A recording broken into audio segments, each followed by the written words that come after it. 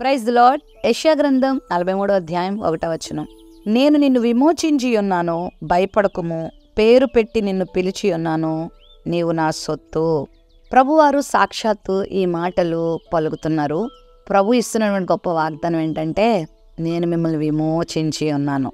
దాస్యపు గృహమైన ఐగుప్తులో నుండి నేనే మిమ్మల్ని విడిపించాను విమోచించాను. మిమ్మల్ని నేను నా ప్రజగా చేసుకున్నాను. మిమ్మల్ని నా సొత్తైన వారిగా చేసుకున్నాను. కాబట్టి మీరు భయపడొద్దు జడియొద్దని గొప్ప వాగ్దానం చేస్తున్నాడు.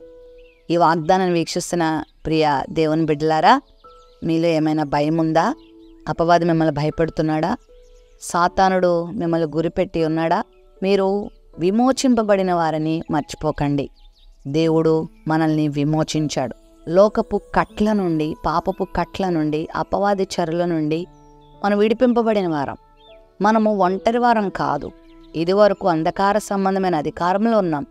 ఇప్పుడు క్రీస్తు యేసు యొక్క రాజ్య నివాసులుగా మనం చేపడ్డాం మన చుట్టూరు ఒక ప్రత్యేకమైన సంరక్షణ ఉంది. దేవుని దూతల సంరక్షణ మనకుంది. అగ్ని పర్వతములు మనతో ఉన్నాయి. మనం భయపడాల్సిన అవసరం లేదు. మనం దిగులు పడాల్సిన అవసరం లేదు. మనము దేనికి బెదరాల్సిన అవసరం లేదు. ఈరోజు సాతానుడు నీ ముందు నిలబెట్టి నేను భయపడుతున్నాడేమో. నీవు చేసిన పాపం వల్ల నీ బతుకిలా అయింది. నీ జీవితం ఇంతే ఇంకా మరలా నీకు వెలుగు రాదు. నీ జీవితం అంతా చీకట్లోనే ఉంటుంది. నిన్ను అందరూ త్రోసివేస్తారు. నిన్నెవరూ ప్రేమించరు.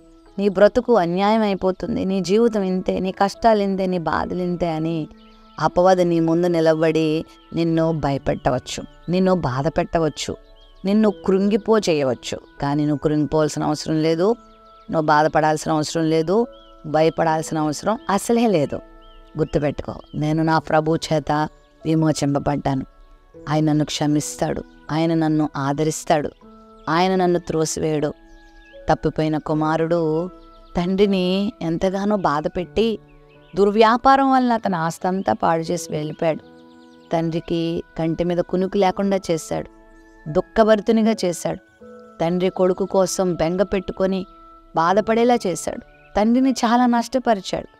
అయితే పశ్చాత్తాపపడి తిరిగి వచ్చినప్పుడు ఆ తండ్రి అతనిని ప్రేమించాడు ఆదరించాడు హక్కును చేర్చుకున్నాడు. ఆ తండ్రి కొడుకులకున్న సంబంధాన్ని ఆ తండ్రి మర్చిపోలేదు.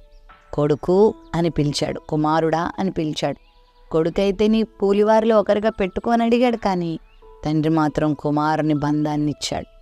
నీ జీవితంలో కూడా దేవుడు ఆ కృపనిస్తాడు. ఒకవేళ దేవుడిచ్చిన ఆధిక్యతను తొంగలోకి తొక్కి దేవునితో ఉండేటువంటి ఆ అనుబంధాన్ని నువ్వు కోల్పోయావేమో కానీ ప్రభు దగ్గరకు నువ్వు మరలా వస్తే ఆయన నువ్వు క్షమిస్తాడు ఆదరిస్తాడు. నీ పాపములు నీ దోషములు ఆయన క్షమించి మరలా నిన్ను వాడుకుంటాడు. నేను విమోచించాడు కదా? నువ్వు ఆయన సొత్తు కదా? నువ్వేం భయపడొద్దు. ఆయన నేను వెలివేసేవాడు కాదు నేను త్రోసివేసేవాడు కాదు. రా మరలా ప్రభు దగ్గరికి రా.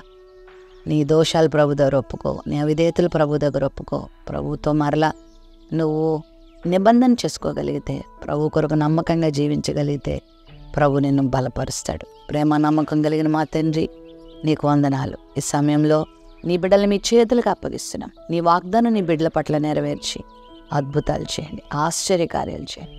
ఏ సునామంలో ప్రార్థిస్తున్నాం తండ్రి. ఆమెను.